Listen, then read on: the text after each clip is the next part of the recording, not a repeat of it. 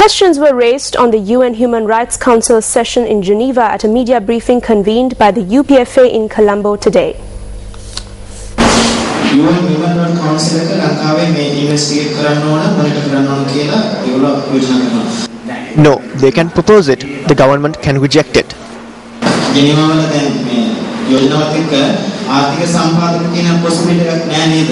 ආර්ථික සම්බන්ධ To impose economic sanctions, they must go to the Security Council.